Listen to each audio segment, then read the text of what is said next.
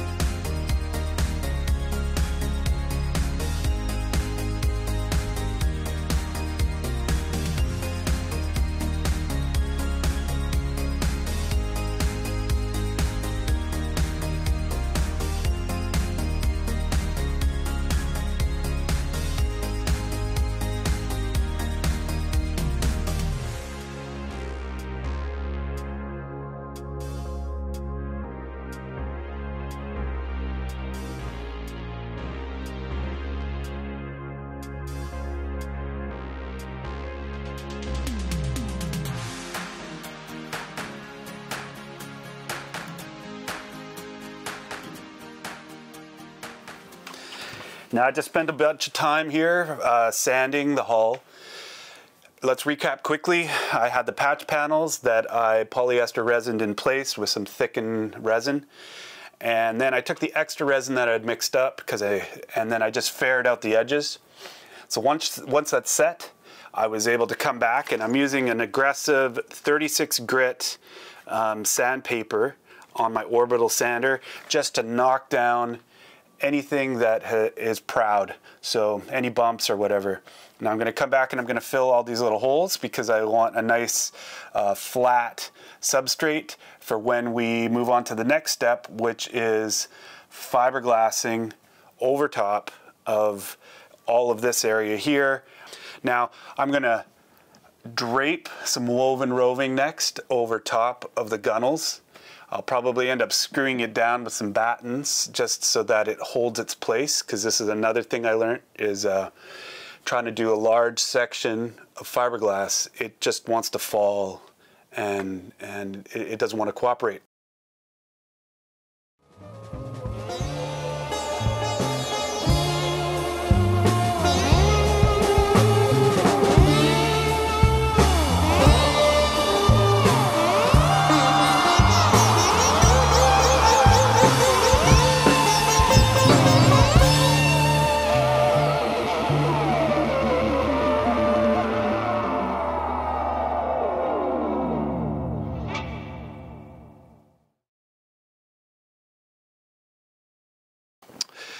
The next day has arrived and all of our resin has kicked off. It's uh, not tacky, but it is laminating resin, so it's not fully cured. I did not put any peel ply on this. I just let it go and it is solid. Even the areas that didn't have any backer board, so the areas that had backer board, not only is it really adhered to it, but it's like, it, it, it, there's no air bubbles, it's beautiful. These areas here have a little distortion, uh, but that's okay because between the stern here where there was no backer panel and this area here where there's a con concave and a, there's, there's multiple things going on here. That's why I didn't do it. At least I can take a sander today, uh, sand off any high spots. I can mix up some thickened resin um, and I could add a little extra hardener to it to make it kick off quick. And then I can just float all that area. Uh, and then within half an hour, I'll be able to sand it up and really contour it uh, as well as at the back. But when I put my straight edge to, to the boat, I mean, I'm pretty darn happy with how this is going. Uh, of course, I'm gonna cut this layer off along the gunnel and get rid of the excess, get rid of the uh, strapping for now because once everything has been kind of you know, sanded and, and brought to a, a level where I think the lines and the fairing is, is okay, then we're gonna put another layer of fiberglass on today. So same technique, draping it, but this time I'm gonna stagger the joint between four and six inches higher so that when I do my final fairing, I'm not competing with a big lumpy seam everything's kind of staggered up and I can sand it all back and, and fair it out. So, uh, so far so good.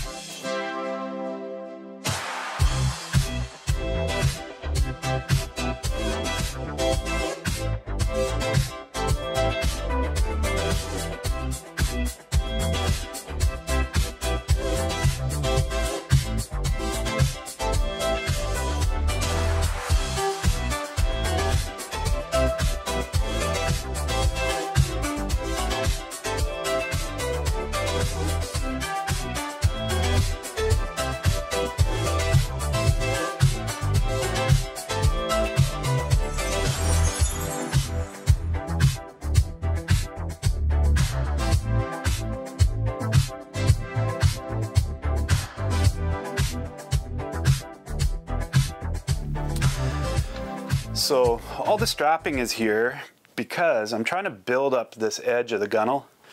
Um, now the, the original gunnel had these nice crisp edges and uniformed, molded look to it. Um, you can only get that when you build on one of these things in a mold. That was one of the reasons I tried to reuse this because for the most part I can sand back to those nice factory edges. But in the case where I've patched it and I'm trying to do a transition all the way back down to the transom, um, my thought being if I pack this in, well, first I started, I got some of this um, strapping. I put some sheathing tape on one side and the top so that I can peel this off once all my thickened resin has cured. Uh, but what it also allows me to do is really pack in there pack in all of this thickened resin and then I tried my best to shape it all off uh, with my squeegee, with my um, with my car Bondo squeegee. Uh, it still has some bumpy areas, so I've let it sit for a little bit. Uh, now I'm going to come back with a little trick. So I take in take some uh, styrene, and I got a little paintbrush, and I can come back with the styrene.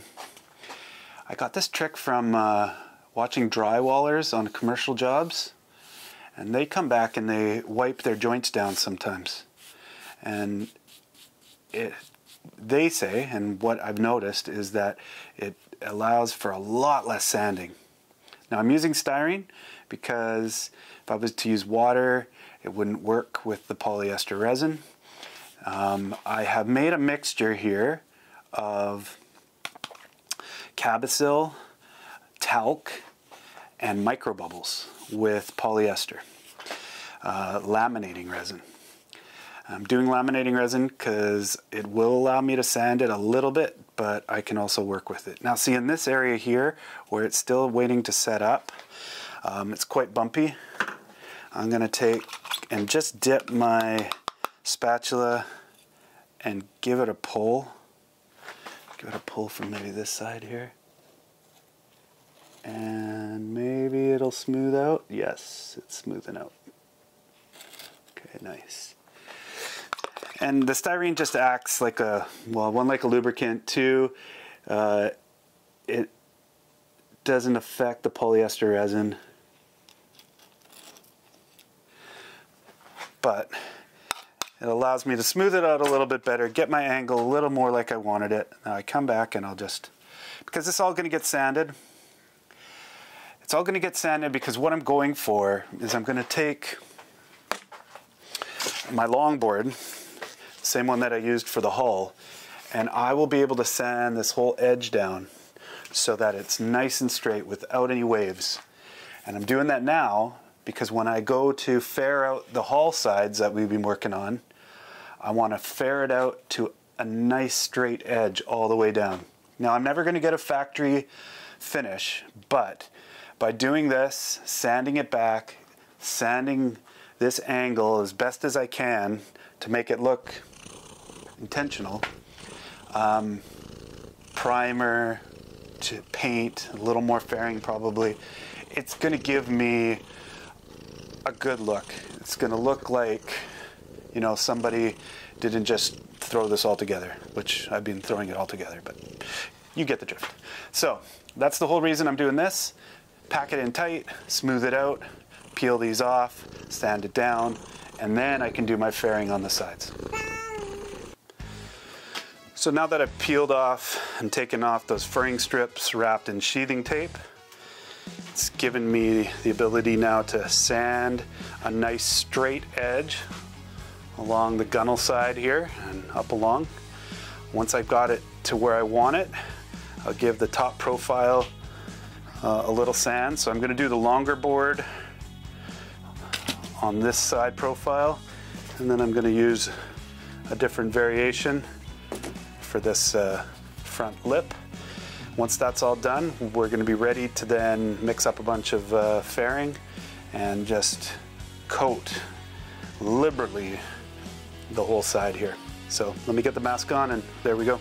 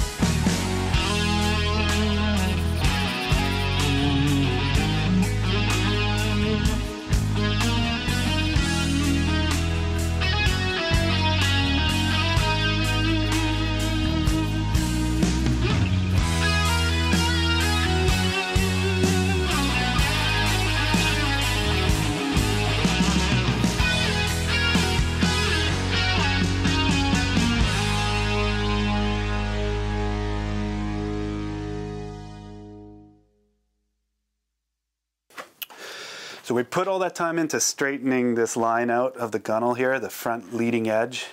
And uh, over and above it being an aesthetic reason to make it nice and nice to look at, uh, we're also using it because it, it's going to be a nice, uh, I'm going to call it a like a guide rail.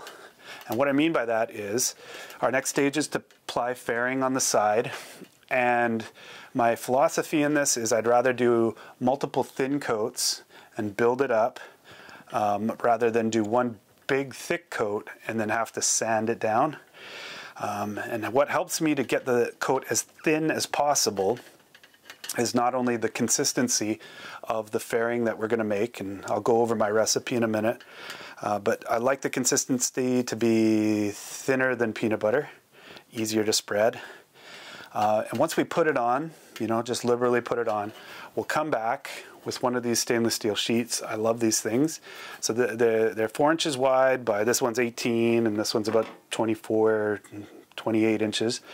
I like the four inches for my hands because when I'm uh, using them, if it were any thinner, my fingers would have a tendency to slip and get into the, the fairing.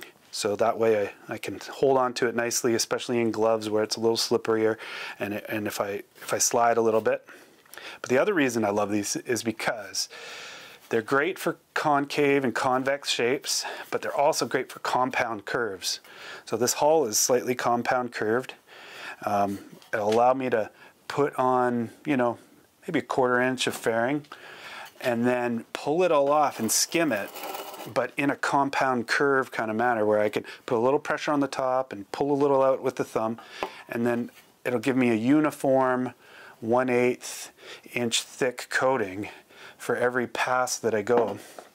And then the other thing is I'm going to have about the first top inch will be a leading edge and I'm going to push it up against this nice straight line that we just sanded and that will allow me to skim everything with the pressure of the leading edge and if we didn't have that if we if we left it a little bumpy as I was pulling along here that that would mirror itself in the side of the hull so because we put the time in here now we can use it as a guide rail, skim everything back, and do one, two, maybe three passes at the end of the day.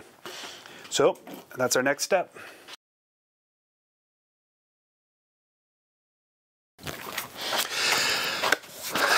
Mixing time. So things you're going to need are a bucket, for mixing your big batch of fairing compound, um, a lid, a mixing paddle. I like using a smaller measured uh, measuring bucket that has the ounces or milliliters on the side uh, for the resin specifically because then you'll know how much uh, resin you're going to mix. And then you have different additives, uh, Cab-O-Sil, which is a fumed silica, industrial talc, and glass bubbles or microspheres. I also like a little uh, styrene and some acetone on hand. Once you have everything ready to go, um, you can make your mix, your little recipe. Now each of these ingredients have a different attribute that adds to the total mixture, kind of like baking. Um, but I don't, you know, measure everything out really specific. I kind of go uh, by my feel when I'm looking at the consistency and the only thing I really pay attention to is measuring out the resin and the hardener uh, or the catalyst. Now, um, I've done a lot of experimentation, trial and error on the bow and I think I'm finally confident to share with you kind of the recipe I use. Um, and because we're going to be doing both sides, uh, I'm going to have to mix up this big batch. Now, the side itself is 12 feet long and 30 feet or 30 inches wide, and we're going to do it an eighth of an inch thick. So when you calculate all that up, we're going to need about 40 ounces of resin. I want to catalyze it at 3%, which is a little higher than normal. Um, and we're going to mix these together first, and then we're going to use our additives. So additive wise, Cab-O-Sil, which is a fumed silica, has the attributes of, you know, like glass or sand, where uh, basically it's hydrophobic or it, it's it, it, it doesn't allow water to kind of permeate it. So it's really good for a nice hard coating, uh, but by itself, it would wouldn't be able to sand that well. Um, talc, just like talcum powder that you would get at your, you know, your uh, department store. Um, you can buy it in uh, 10 pound bags from my supplier. So same stuff, um, pretty much. Uh, but this uh, gives you a little more of a creamier consistency. Um, and then the magic, the magic ingredient here are the glass bubbles or microspheres. And just the way that the glass uh, molecules of these are, it gives a, a very easily sandable um, it allows the resin to dry hard, and especially in conjunction with the Cab-O-Sil. Uh, but together, they all work in with the right proportions to make something that's easy to apply, uh, and then easier to sand. And I'm having some good success with this little recipe. Now, I save all my sushi and uh, and Chinese food to go containers. You know, since they started bringing them out in these little plastic containers, uh, I keep them all and they're great for mixing stuff in.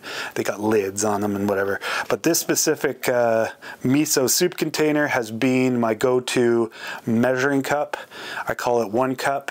It's probably not exact, but um, I've been using it from the beginning. So I have a couple of them exactly the same and I hold on to them. Now the mixture I'm using, I like I said once again, 40 ounces of uh, polyester resin. Uh, I'm using the same resin as I've been using on the boat. Uh, keeps the cost down. And uh, once again I can you know mix up all different things with it whether it be for bonding or for fillets or for you know just laminating. But in this case we can also make fairing out of it. Now I got 40 ounces with 3% that'll get mixed up until it's catalyzed and and I know that by the color and then I'll throw it into the big bucket here. And then I'll add four one cup scoops of the Cab-O-Sil. I'll throw in two of the talc and two of the glass bubbles. And then with this mixer, and I like this mixer so much because um, after you've done your mixing, these little plastic um, mixing paddle parts, uh, I don't have to worry about uh, cleaning it up right away. Once it's hardened, I can just crack everything off. It, cracks off really easily. These don't break. They're very flexible, and uh, and I've reused this, you know, a couple dozen times now. Now I don't know where I got it, but this I think is the key, the key to this whole thing because to get the consistency you want, you want it to be able to be mixed and incorporated really well. And the only way to do that is by, uh, uh you know, a mixer. Just like uh, if you were watching a baking show, you wouldn't mix everything by hand with a whisk.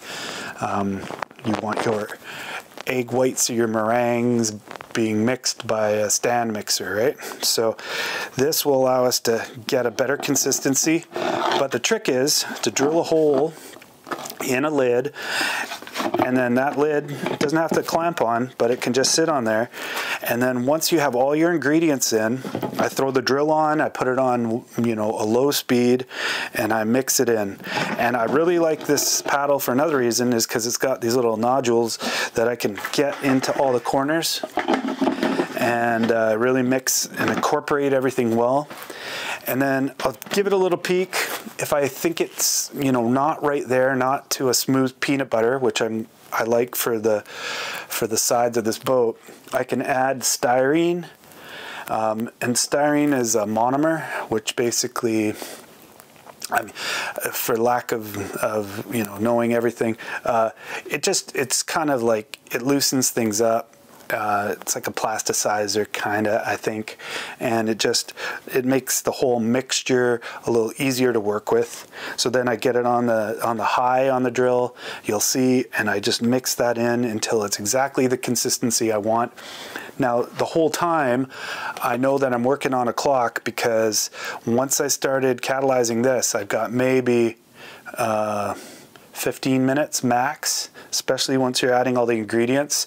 Uh, might, and, and then you're working them, it wants to cook it a little bit.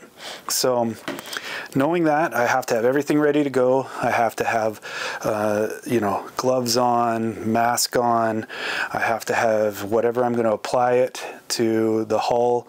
And then I have those stainless steel uh, skimmers that I'm going to skim. So I have to have all that ready to go. And then, boom, we maybe by that time we maybe have five or ten minutes to work with. So you got to be well organized and ready to go. But uh, let's do it, and then we could talk about it after.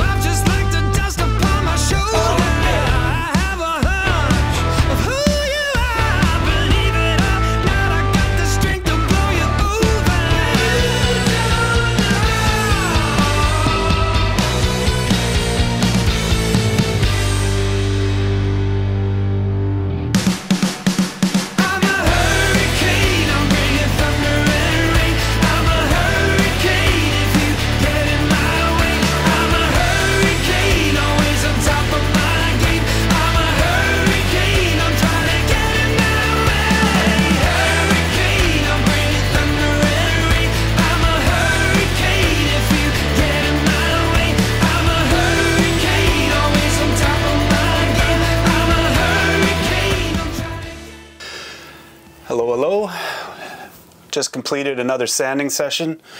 So as you saw, I've probably done, I think, four layers of fairing. Uh, I tinted different layers and you can see um, how I've tinted one blue, one gray, and then a white tint. And that just allows me to kind of understand where I'm sanding down to. But regardless of how many layers you put on, there comes a point when you need to lock it all in because you end up just sanding right through multiple layers, uh, even down into the fiberglass. And uh, it's counterproductive. So what I'm gonna do now is mix up some primer.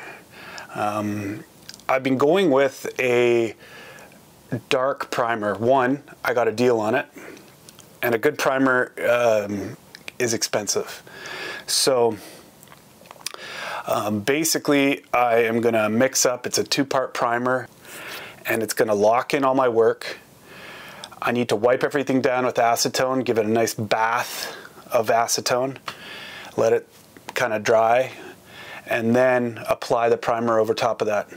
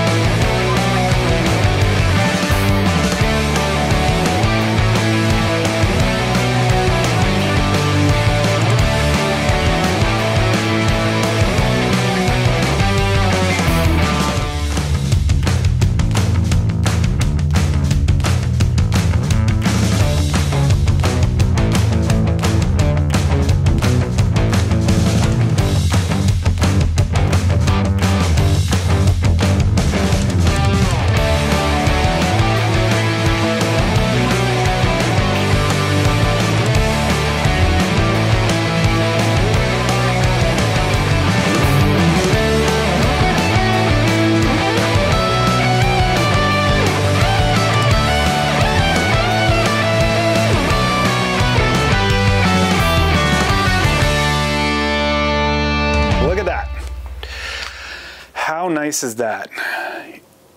Anytime you put some paint on your project, it just uplifts your spirit, all that hard work. Of course, we got the other side to do. Um, but now that this is locked in, I'm super happy with the lines of the gunnel here. I think this has turned out exactly the way I wanted it.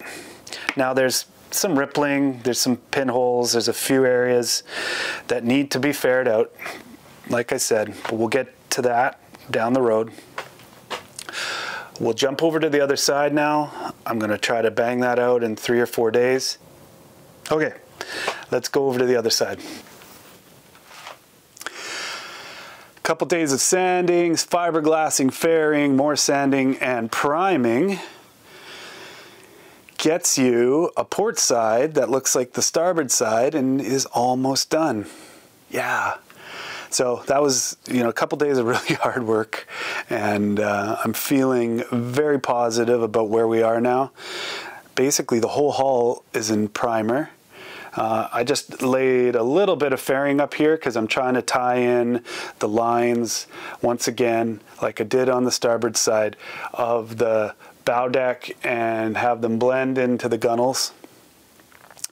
So that's drying and then I'll be able to sand that and prime that up. Uh, we are now about to hit the inside of the boat. So this next stage is all about getting these interior sides, starboard and port, to a point where I can pour some foam in them.